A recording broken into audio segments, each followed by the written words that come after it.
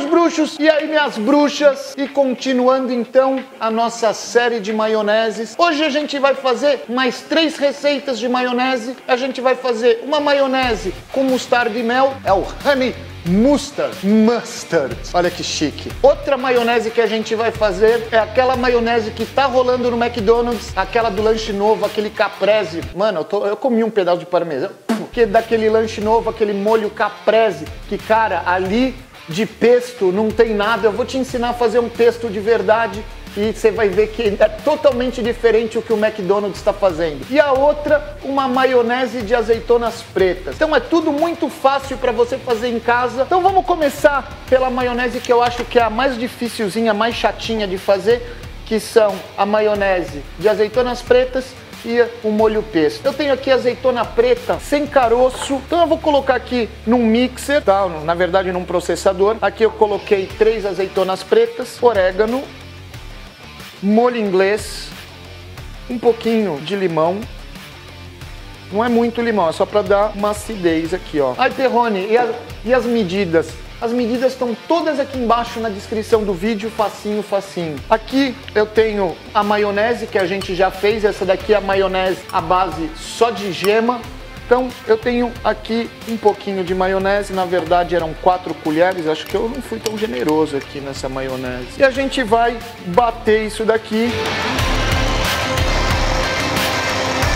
Olha só, muito fácil, muito simples. Olha que delícia isso daqui.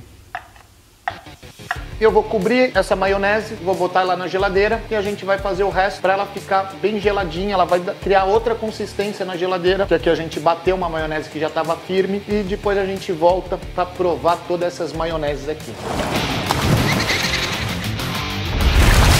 E agora então é aquela maionese do lanche caprese do McDonald's, que é a maionese de pesto. Cara, aqui a gente tem um pequeno problema. É esse daqui o problema. Isso daqui chama-se pinoles. E isso é o que faz o verdadeiro molho pesto, só que isso custa quase que um rim. Eu paguei, paguei 35 pila, velho. Pacotinho de 50 gramas de pinole. Se você não quiser comprar pinole para deixar bem perto do pinole, você pode usar nozes, tá? Chega bem perto, não é o mesmo gosto, mas chega bem perto. Então eu vou usar aqui mais ou menos 20 gramas de pinoles Vou deixar um pouco, tá caro. Isso daqui, por incrível que pareça, é manjericão. Isso daqui é manjericão gigante. Você pode usar um manjericão roxo, você pode usar um manjericão pequenininho. Então a gente vai colocar aqui, ó, manjericão.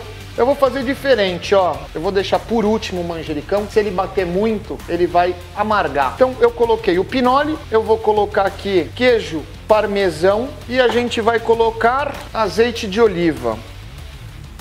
O molho pesto, ele é totalmente à base de azeite de oliva. Então é muito azeite de oliva que você vai bater o parmesão com esse pinole e o manjericão e forma um molho bem líquido.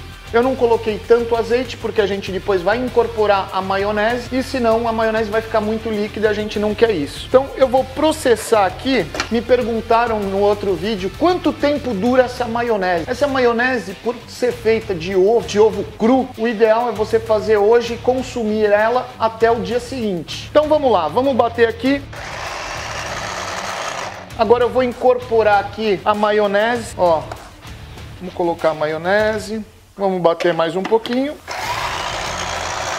Eu não coloquei sal, eu não coloquei nada aqui. Você poderia colocar um pouquinho de pimenta do reino. A gente pode colocar uma pimenta do reino aqui, verdade. Mas sal não, porque o parmesão ele já é bem salgado. E agora eu vou incorporar o nosso manjericão e isso vai ficar um pouquinho verde. E aqui sim temos uma maionese de molho pesto. Mas de verdade, eu recomendo vocês fazerem com pinole. Esse daqui também vai para a geladeira e a gente vai fazer a nossa última maionese. E por última, mas não menos gostosa, não menos saborosa, aquela maionese do Subway, que é aquela maionese de mostarda com mel. Cara, essa é muito sucesso. Maionese, a gente vai entrar aqui com mostarda, mel, um pouquinho de pimenta do reino, um pouquinho de vinagre de maçã, que isso daqui vai dar uma acidez. E essa maionese é legal que você não precisa bater, não precisa fazer nada, só misturar ela, ó. E aqui é mais ou menos ao seu gosto. Se você gosta mais doce, coloca um pouco mais de mel. Se você gosta ela mais com sabor de mostarda, coloca mais mostarda. Se você gosta mais ácida, coloca mais vinagre. Eu cheguei à conclusão que para essa quantidade que eu coloquei na receita, esse daqui é o gosto que me agrada bastante. Então a consistência é essa, olha só.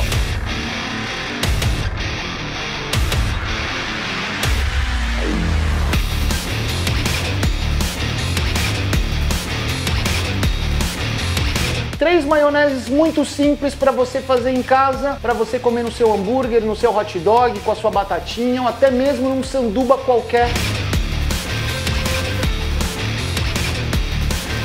Hum. Cara, eu gosto muito desse contraste de doce com ácido. Cara, essa maionese de mostarda e mel é sensacional, muito fácil de fazer. Faz em casa, cara. Qualquer uma delas. Então me marca com a hashtag maionese insana, que daí eu vou saber que vocês estão acompanhando essa série e eu vou ver as fotos que vocês estão fazendo. Então vamos lá, maionese de azeitonas pretas. Hum, hum. Cara, bem boa. Agora maionese do molho caprese do McDonald's. Vamos lá.